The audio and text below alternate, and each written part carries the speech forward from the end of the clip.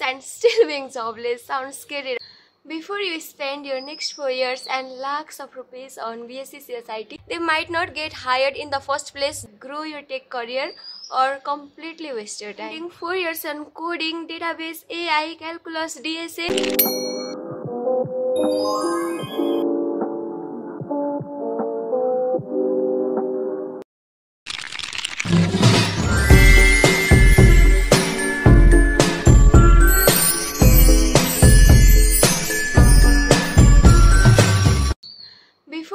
Spend your next four years and lakhs of rupees on BSc CSIT, listen carefully cause this degree can either grow your tech career or completely waste your time. Just imagine grinding four years on coding, database, AI, calculus, DSA, lots and lots of theories, sleepless exam preps and still being jobless. Sounds scary, right? Cause that is the reality of many CSIT graduates that we see almost everywhere.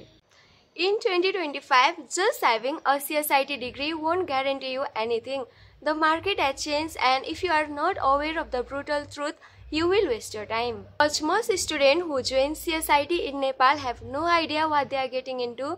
Some succeed and land amazing job while others drop and just end up stuck with just a piece of paper. Right, let's talk about the BSc CSIT curriculum cause this is where many students get stuck after they join. Curriculum and foundation. You are going to deal with mathematics, discrete structure, stat and numerical method and trust me this is where many students fail. If you hate math you will struggle. But here is the thing without math forget AI, forget DSA your brain just won't be wired for it.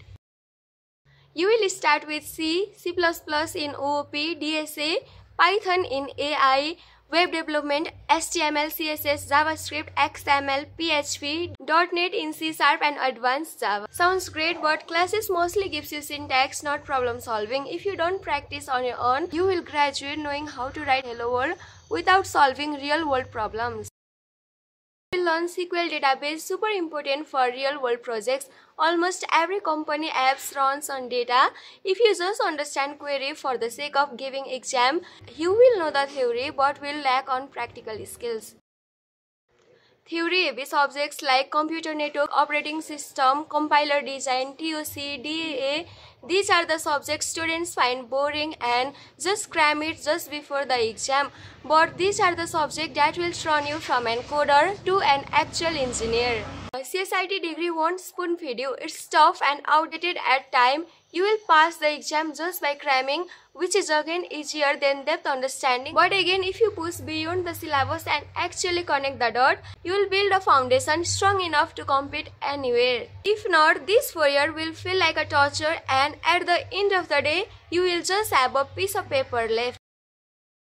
Internship reality check. Listen carefully cause I'm not sugarcoating on this. Internship won't fall in your lap. If you think attending lectures and submitting assignment is enough, think again. Companies don't care about your marks, attendance or two syllabus.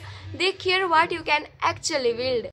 If your CV is empty, no LinkedIn, no GitHub, no projects or exposure to real world, congratulations, you are invisible. You will send applications and hear nothing back.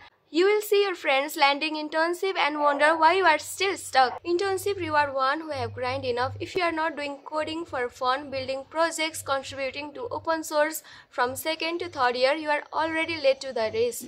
By the time you realize it, the market is small, good positions are gone and you will just left scrambling like everyone else who procrastinated.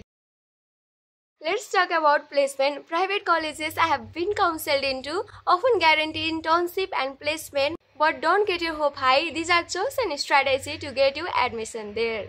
Your environment shapes your future as much as your effort. If you are into college that pushes you forward into coding event competitions and encourage you to join tech clubs, helps you build projects, you will get ahead of 90% of your peers. Soft skills and communication. Coding alone won't get you jobs. A person can be excellent in coding and designing, but if they lack delivering ideas, collaborating, and working as a team, they might not get hired in the first place just because their interviewer isn't convinced. Communication, teamwork, and collaboration matters more than anything. Most people fail interviews just not because of coding round, but because they cannot articulate their ideas better and lack in behavioral skills. Nepali job market is small and extremely competitive. It's better to know your path early whether you want to be in software development, AI, machine learning, DevOps, cloud, cybersecurity. Without having clear direction, you will just switching your job from one entry level to another, confused and frustrated. This is the reality check that you need to know before entering CSIT or any IT field and this is something very authentic and close to my heart as myself being a student I too have faced it a lot and do let me know if you want to see more of this kind of video. Until then I'll see you in my next one. Bye.